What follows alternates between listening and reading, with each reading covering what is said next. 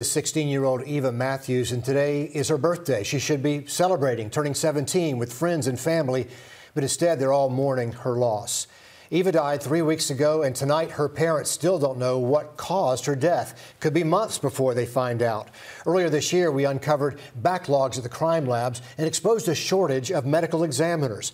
The GBI forensic team is slotted for 18 positions, but there were eight vacancies as of September. We've spoken with families desperately searching for answers. Sydney Hood introduces us to the Matthews family and how they're turning their pain into action.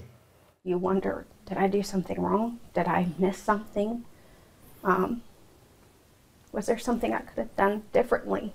You will always wonder those things. Wondering what happened to their vibrant, She wanted to be a screenplay writer. full of life There's nothing she couldn't do. 16 year old daughter. We know autopsy results are backed up, but now you add on this other layer of families don't know when their loved one's going to come home. Eva's body was with the GBI for a week. So we feel like feel like we kind of got robbed of some last moments to to let not just us but her friends and other family to be able to say goodbye to her. So, with Eva on their mind, We we want to try to help other families that are dealing with the same situation.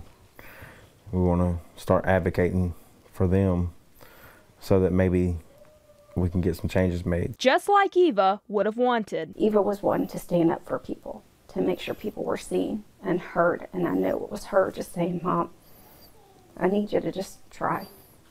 Just have my voice heard.